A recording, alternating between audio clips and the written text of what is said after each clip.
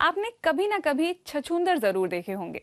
ये चूहे जैसे दिखते हैं और चूहों की ही तरह चीज़ों को कुतर भी लेते हैं। लेकिन चूहों से इनका कोई लेना देना नहीं होता।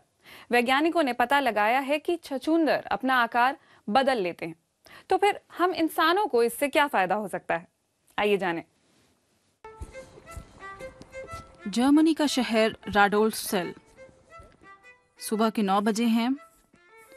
हावियर लाजारो, यहाँ मार्क्स प्लाक इंस्टीट्यूट के बाहर किसी को खोज रहे हैं।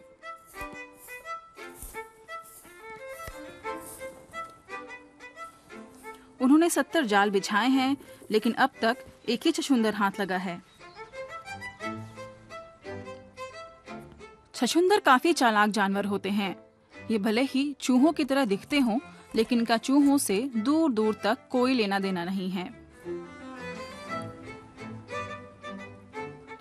और इनमें कुछ कमाल की खूबियाँ होती हैं।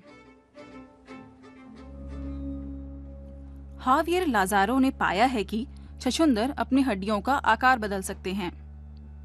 इसे बेहतर समझने के लिए वे इस छोटे से जानवर को कुछ मिनट के लिए एनेस्थीसिया देते हैं। फिर वो उसका एक्सरे लेते हैं। उन्हें ये काम तेज़ी से करना होगा, नहीं तो छछुंदर जाग जाएगा और उनकी मेहनत बर्बाद हो जाएगी।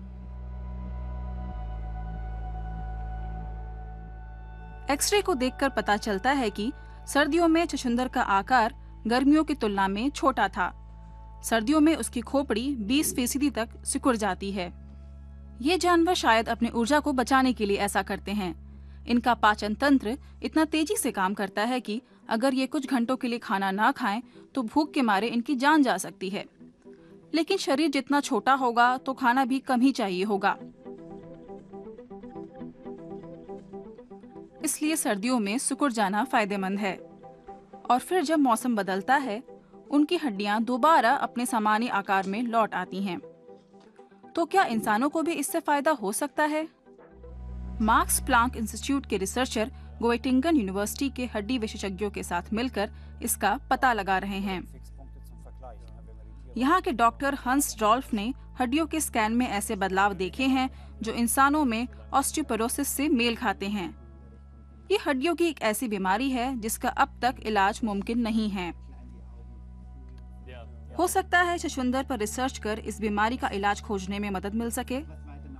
सर्दियों में छछुंदर की रीढ़ की हड्डी और खोपड़ी के पीछे वाले हिस्से पर सबसे ज़्यादा असर पड़ता है। इसलिए इस प्रक्रिया को समझने के लिए रिसर्चरों को छछुंदर की हड्डियों के अंदर झांकना होगा। मरे हुए जानवरों को कई हफ्तों तक प्लास्टिक वाले एक पारदर्शी तरल में डुबोकर रखा जाता है। इससे उन्हें प्लास्टिनेट यानी सुरक्षित रखा जा सकता है। फिर इनकी हड्डियों के चंद मिलीमीटर लंबे हिस्से किए जाते हैं और हड्डी विशेषज्ञ माइक्रोस्कोप के नीचे इन्हें देखते हैं।